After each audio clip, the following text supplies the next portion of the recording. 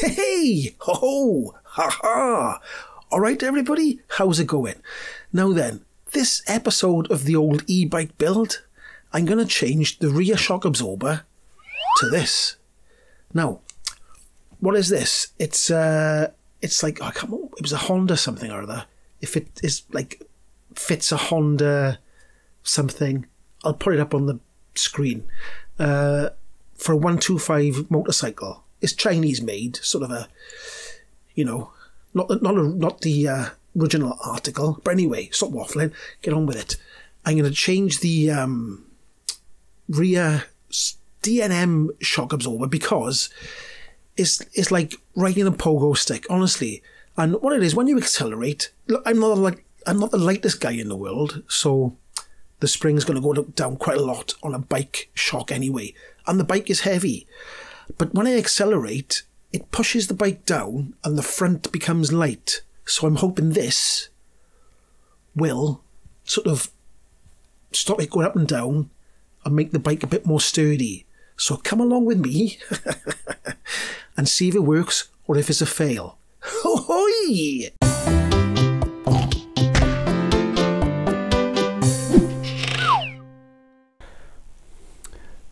Okay, so I've taken the uh, uh, the DNM shock I had on the bike before off, so I can put it next to the sort of 125cc equivalent type rear shock, and you can see there's quite a lot of difference.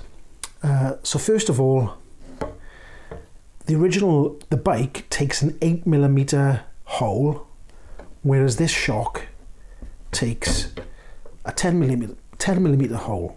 So there's two ways you can do this. You can either drill out the bike, uh, the swing arm uh, hole to 10 mil and the bracket to 10 mil, or you can put a sleeve inside you, which is the way I'm going to do it because obviously once you drill the bike out, you can't go back to the small hole because it'll be wrong.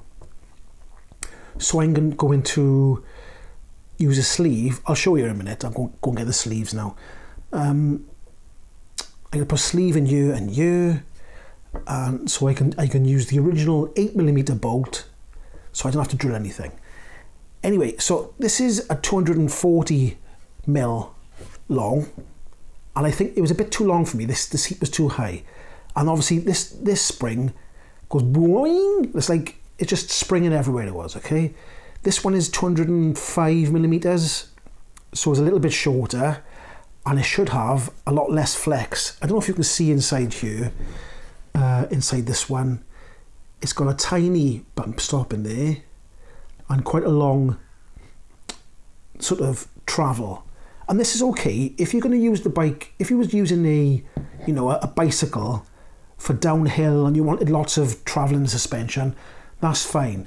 But on the road, I only want a short bit of travelling suspension, so it doesn't, you know, the, so the, the handling doesn't go all over the place.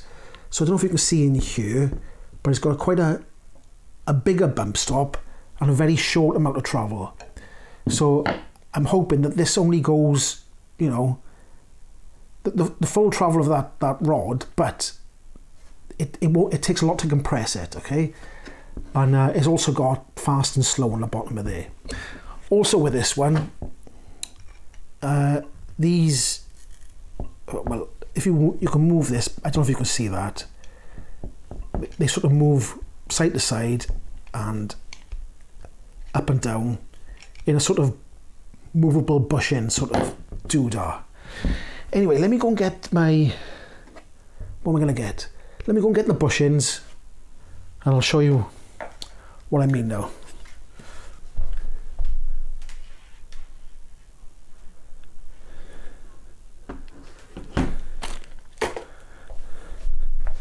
Right, okay.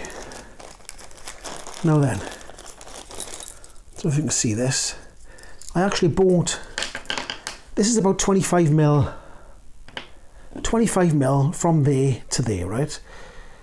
This is 12 mil, this one is. I was going to buy these, two of these, pop them in there, pop one in one side, like that, and pop one on the other side. And that would have done the job, okay? But, as it happens, my brother does a lot of motorcycles and he he bought these uh, sort of adapters. He was adapting some different front brakes on his motorcycle. And they had these flanges on there. I don't know if you call that a flange, but I've cut them off. Okay? And these are 10 mil to 8 mil. So I'll put one in there, like that. See that there? And one in there like that. So now, this will accept the original 8 millimeter bolt. And everything will be tickety boo. I hope so. And just to give you some sort of idea of the difference in uh, thickness on the spring, we'll just turn this on, set to zero. The thickness of this spring here is 8.36 and this one here is 11.24. If I do the thickness this way, like this, 46.77. This one is roughly 71.85. So, hopefully, this this spring here will stop me going boing a anyway, let's go and put it on the bike.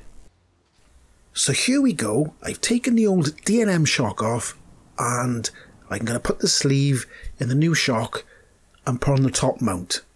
Now the top mount goes well. when I come to the bottom mount, everything goes wrong.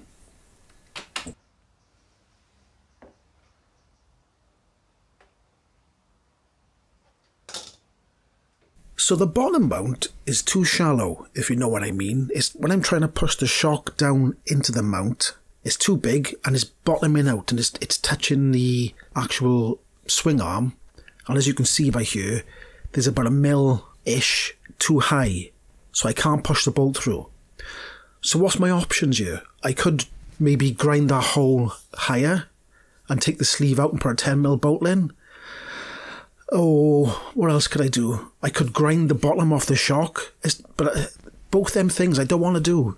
So, um, I don't really know what to do, to be honest. Option 1, grind the hole bigger. Option 2, grind the shock. Option 3, shout and sway at the bike until you get bored. Or option 4, sell the bike and build a new project. Or we could go option 5, which is in the comment section you give me an idea of what I should do. Any ideas will be helpful. So if you've got, you know, any thoughts on how I could come across that problem without destroying the shock or changing the bike, leave it in the comment section below. I'll be very, very grateful.